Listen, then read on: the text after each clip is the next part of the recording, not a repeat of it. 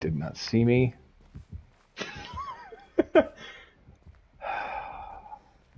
you pick a direction and throw, you know, and the next thing you know.